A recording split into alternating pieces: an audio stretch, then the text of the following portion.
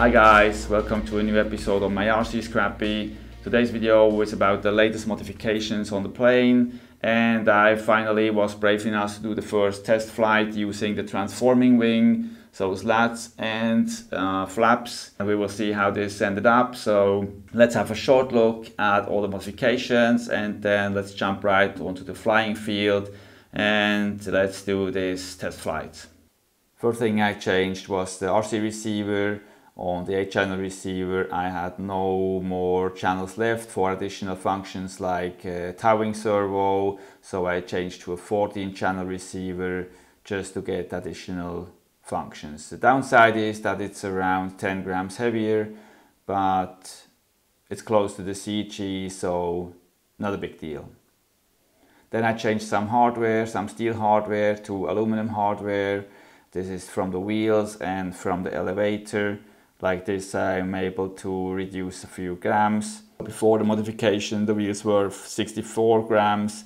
Then I also glued on the tires onto the rims because the tires wobbled a bit on the rims without gluing. So I glued them on and put it on the new hardware and like this I was able to reduce the weight of each wheel at around 2 grams.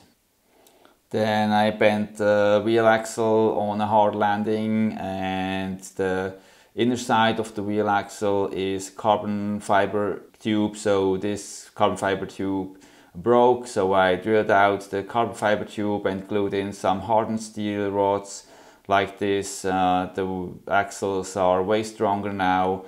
Then I didn't like the shape of the screws for the wing mount, so I sanded them down to a flat surface and put it on some silver paint just because it looks better, it's a bit better in case of aerodynamics and like this RC Scrappy is a bit nicer again.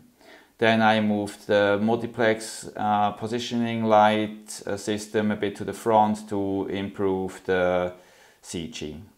Then I had to make some holes into the wing ends to replace LEDs. One of the LEDs broke, so I had to replace it.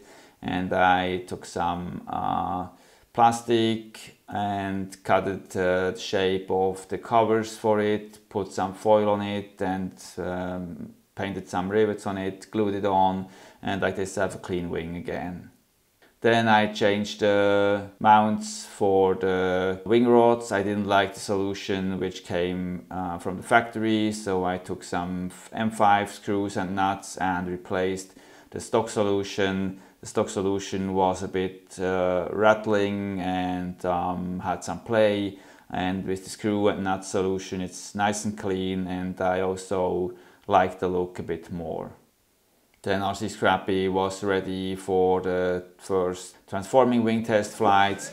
On the first takeoff I didn't use the transforming wing just to make sure that everything works fine on RC Scrappy before I start testing the slats.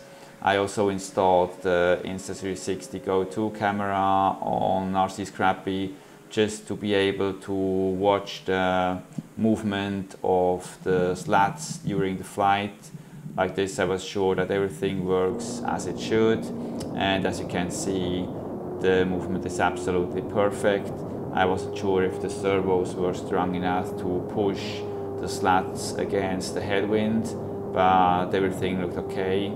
They move a bit during the flight but not a big deal. You cannot feel anything on the sticks uh, about the, the, movement of the slats. So I think everything is safe and, and works perfect.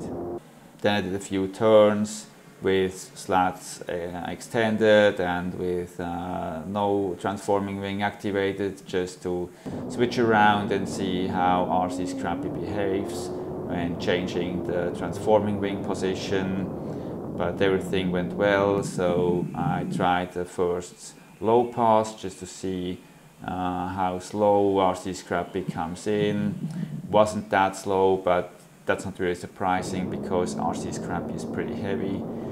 Stock weight of the Carbon Cub from Horizon Hobby is about 4.3 kilograms and RC Scrappy after all the modifications is around 5.6 kilograms so this is 1.3 kilograms more. this is a lot of weight, so I'm pretty happy with that much more weight how RC Scrappy behaves. Then it was time for a first uh, attempt for a touchdown and everything looked clean so far. We had a bit wind, so was a bit uh, wobbling on the roll axle, but everything went well. Touchdown was clean, and you can also see how the slats worked during the touchdown Then it was time for the second test flight. On the second test flight, I took off um, with slats and flaps activated, so the whole transforming wing in action. And you can actually feel that RC Scrappy lifts a bit earlier than without um, transforming wing activated. Uh, it was a bit a bumpy takeoff just because um, on throttle uh, the nose lifts up a bit and if you remove throttle the nose goes down if you have the transforming activated. So it was a bit shaky but all good. And then I did a few turns again and did a second attempt for touchdown. And also on this touchdown everything went well went a more a bit more far but uh, as you can see you can really slow it down pretty nice and um, yeah, more test flights will follow.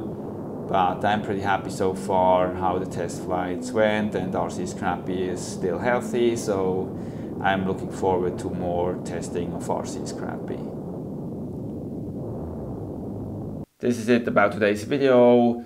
The transforming wing was used at 50% of the range which is possible for the slats. So there will be more testing with full flaps and full slats, full range of slats. So we will see how this will behave but I'm really positive that everything will work well. So thanks a lot for watching, see you in the next one, have a good time, happy flying, bye bye.